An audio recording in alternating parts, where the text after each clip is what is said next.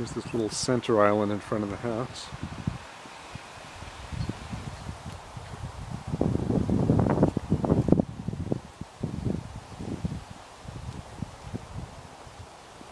There's the front door behind it.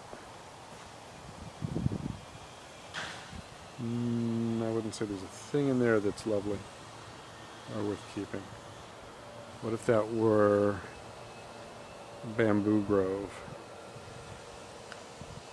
Or, mm, don't know. It's a bit tough because there's this grove right across the way. What if you continued those over here?